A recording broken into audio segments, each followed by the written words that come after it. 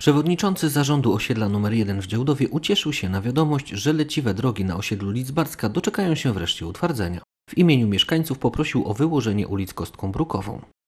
z uwagi na y, wprowadzenie y, do budżetu ulic naszych y, na, na osiedlu Lidzbarska, mam takie zapytanie, bo pytają się mieszkańcy, y, co planuje pan burmistrz, czy tam będzie kostka, czy y, asfalt? No bo większość tak, y, próbowałem tam zaciągnąć informacji odnośnie tej budowy, więc większość wypowiada się za kostką.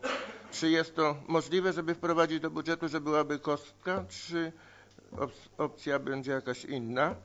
No i jeżeli ta realizacja y, tych ulic zostanie dokonana, to muszę powiedzieć, że wielki szacun dla pana burmistrza, że po 40 latach y, inwestycja zostanie wdrożona.